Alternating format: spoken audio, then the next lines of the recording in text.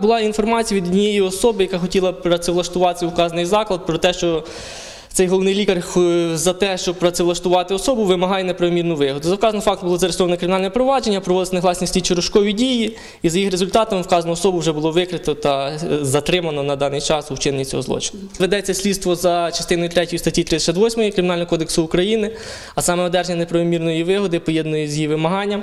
Санкція статті передбачає покарання у виді позбавлення волі виключно від 5 до 10 років з конфіскацією майна.